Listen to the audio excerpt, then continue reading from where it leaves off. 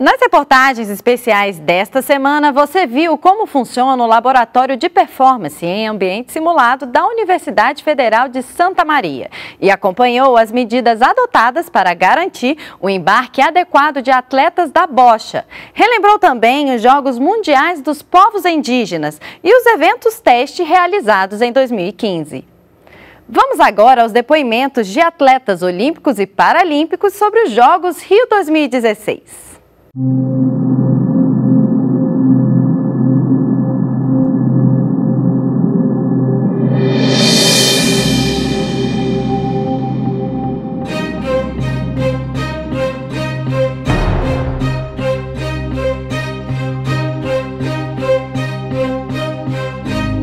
cada mês que a gente está chegando mais perto da Olimpíada, o Brasil inteiro está respirando mais Olimpíada.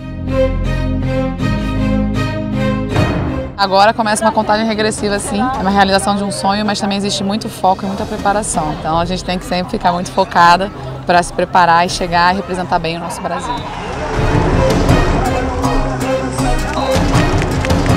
A festa que o, mundo todo está presente, né? É a hora de mostrar né, para que você veio. Participar de, um, de, uma Olimpíada é muito gratificante para um atleta, né? ainda mais dentro da sua casa, e pretendo dar essa alegria para o pessoal do Rio de Janeiro. No treinamento, nós fazemos acontecer as medalhas. No dia da competição, nós só vamos buscá-las. Pô, posso ficar até arrepiado de tanta emoção. Tem palavras mais para descrever é, a emoção de, de, de disputar uma competição como uma Paralimpíada ser muito legal mesmo estar jogando em casa, com a família, com o povo brasileiro junto. Eu acho que vai ser uma alegria imensa. Vou ficar mais feliz ainda, estar tá ali fazendo, é, mostrando para o mundo todo que a gente está representando muito bem o Brasil, principalmente o Rio de Janeiro, onde eu moro. É, minha ideia é sair do Engenhão como herói com a medalha no peito.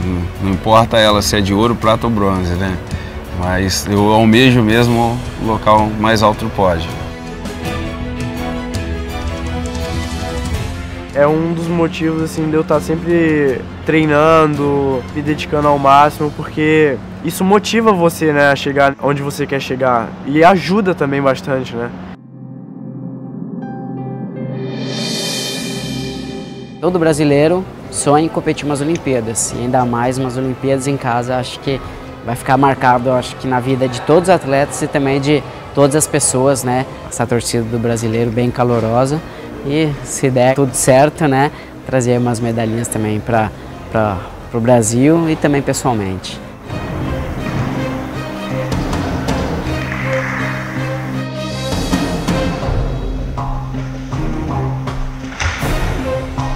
Uma coisa é você ir para fora do Brasil, lutar dentro do país o cara, com a torcida tudo contra você. Outra coisa é você lutar aqui no seu país, com a sua família te olhando, com a sua mãe te olhando, seu filho te olhando é outro ânimo de querer ganhar, de querer vencer, aquela gana de ganhar dentro do seu país, de mostrar para todo mundo, não só a sua família, mas também todo o povo brasileiro vai estar apoiando todos os atletas do Brasil, independente de qualquer modalidade, de futebol, judô, boxe. Eu sei que todos os brasileiros aqui vão estar apoiando todos os atletas de qualquer modalidade que, que esteja competindo naquele dia. Então é um entusiasmo maior, te dá muito mais vontade de você ganhar.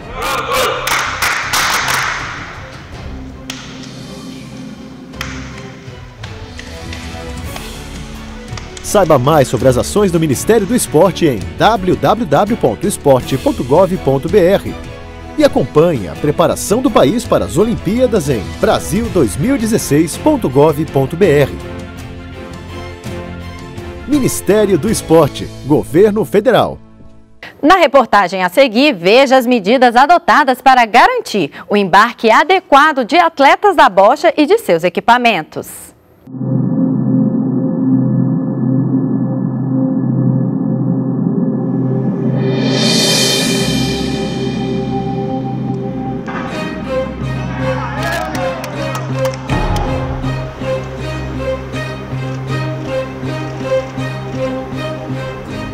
Gente já vem trabalhando há alguns meses com as entidades de aeroporto, com o Infraero, o ANAC, a Secretaria de Aviação Civil, com as companhias aéreas, é, com treinamentos específicos de como receber esses atletas, como são as necessidades deles, como, como são os tempos de deslocamento, como é que se faz o desembarque.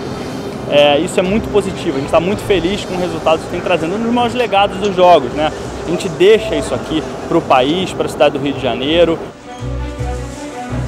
A questão de acessibilidade é um grande desafio para a gente em termos de operação especial, tá? Diria até que os Jogos Paralímpicos é um desafio maior do que os Jogos Olímpicos.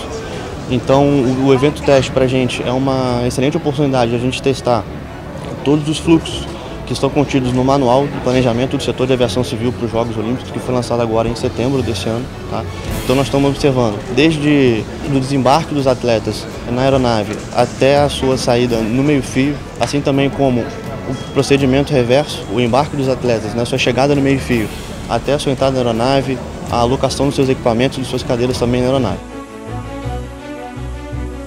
Muitos atletas possuem cadeiras motorizadas, né? Então essas cadeiras elas têm uma sensibilidade grande, então uma das nossas preocupações é a acomodação desses, desses equipamentos nas aeronaves, né? E de forma que isso ocorra de, da melhor maneira possível para que não possa acontecer nenhum, nenhum dano ou nenhum problema com essas cadeiras, para que ele possa retirar isso na chegada dele da melhor maneira possível. Muitas dessas cadeiras, desses atletas, são cadeiras que eles competem, então isso que a gente tem, tem procurado orientar né, também as companhias e os operadores aeroportuários para que a gente não tenha nenhum tipo de problema com relação a isso. Uma outra questão também que nós estamos trabalhando é também a infraestrutura. Após os Jogos Paralímpicos, isso sirva como um legado para o país e para os nossos aeroportos.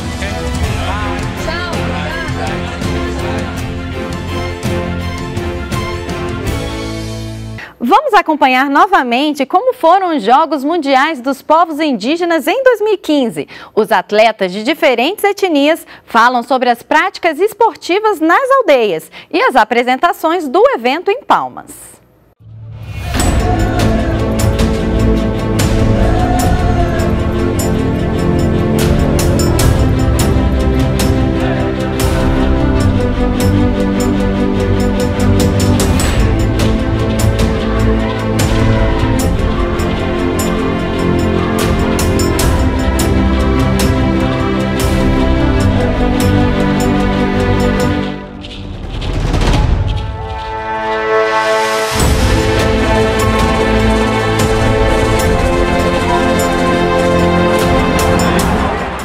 Esporte, ele, como no não índio, né, ele traz muito benefício, como afastado dos mau caminhos, como bebida, droga, essas coisas. Esporte na nossa aldeia é bom nesse ponto, né?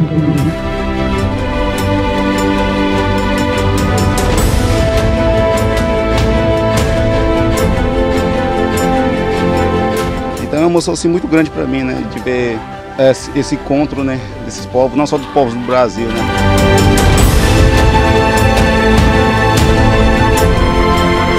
Vim para cá justamente para conhecer as raízes do meu esporte, né? Vim para cá para conhecer assim, o que, que, é, o que, que é a canoagem que eu pratico, como é que é, de onde veio.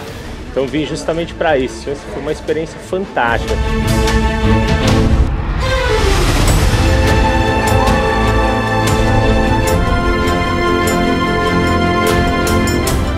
Um evento que nós buscamos também aprender coisas novas para levar para dentro de nossa comunidade também, para poder fortalecer o esporte, trazer as crianças para aprender também né, o valor da, de celebrar, de praticar as modalidades, né, não vendo como uma parte competitiva, mas sim é, de celebrar, né, que é o, o lema do, do, do evento. Né.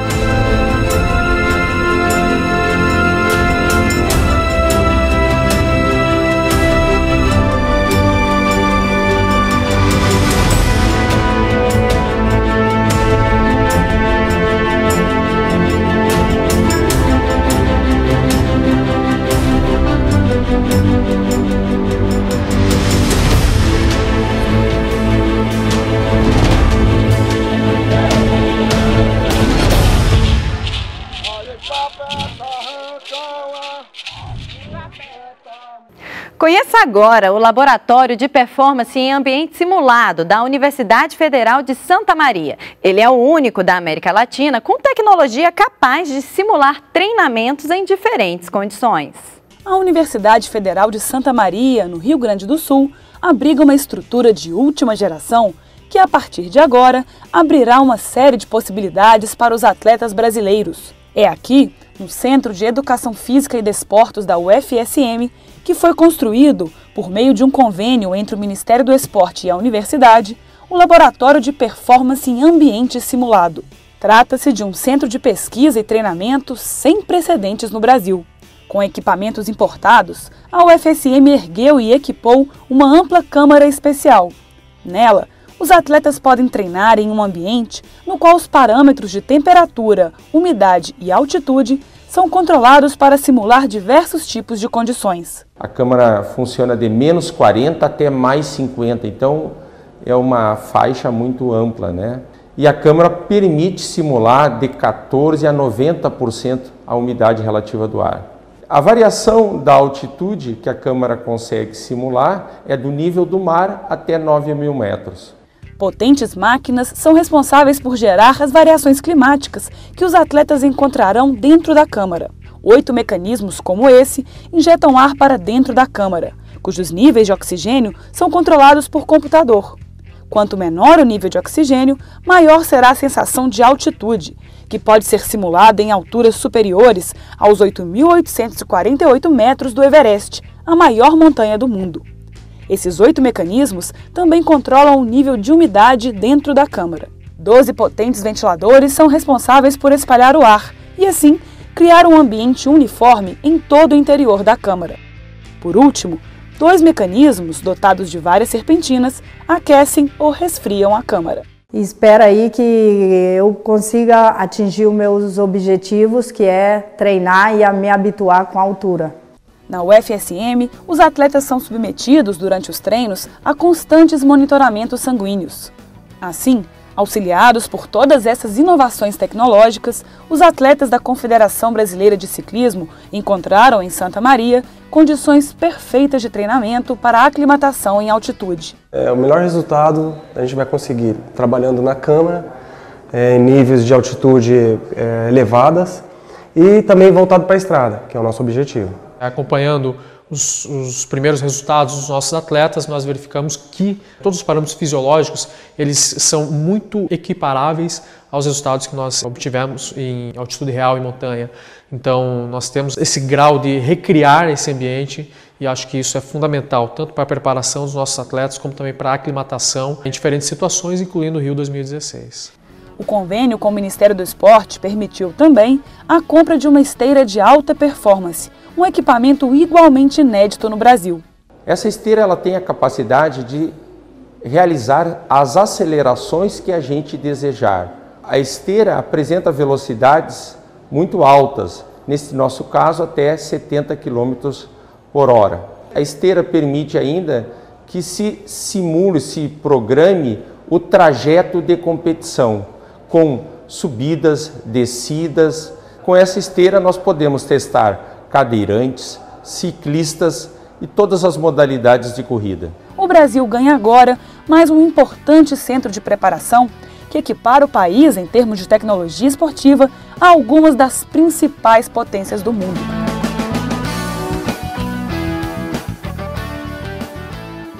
Para encerrar, vamos rever os eventos teste realizados em 2015 no Rio de Janeiro. Eles fizeram parte da preparação do Brasil para os Jogos Olímpicos.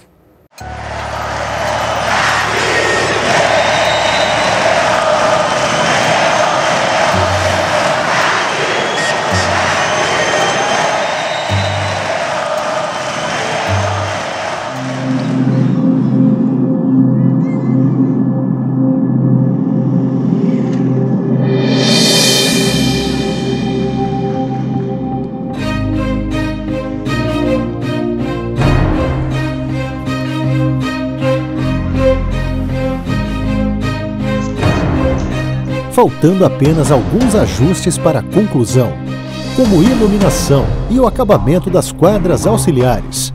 O Centro Olímpico de Tênis foi a primeira arena do Parque Olímpico da Barra a receber um evento teste. Reunindo grandes tenistas brasileiros, a competição marcou o encerramento do calendário de eventos teste de 2015. Pouco mais de seis meses do início dos Jogos Olímpicos do Rio de Janeiro, o comitê organizador cumpriu o planejamento e promoveu com sucesso 21 dos 44 eventos programados.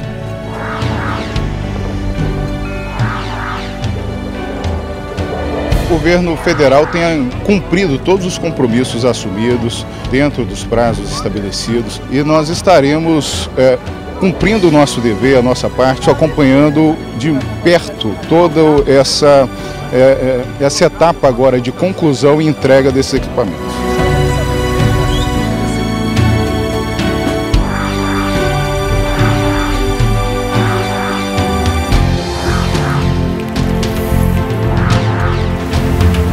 provas estão sendo uma oportunidade para testar as áreas de competição, além de equipamentos como o sistema de resultados. As competições também ajudam ainda a integrar os organizadores e treinar as equipes que vão trabalhar nas instalações. Ao todo, serão 34 competições olímpicas, 6 de esportes paralímpicos e 4 mistas com a participação de mais de 7.800 atletas e 16 mil voluntários.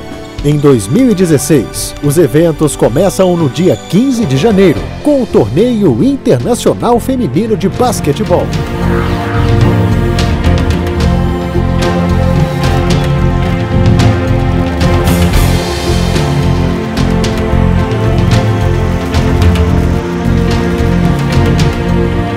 Saiba mais sobre as ações do Ministério do Esporte em www.esporte.gov.br e acompanhe a preparação do país para as Olimpíadas em brasil2016.gov.br. Ministério do Esporte, Governo Federal.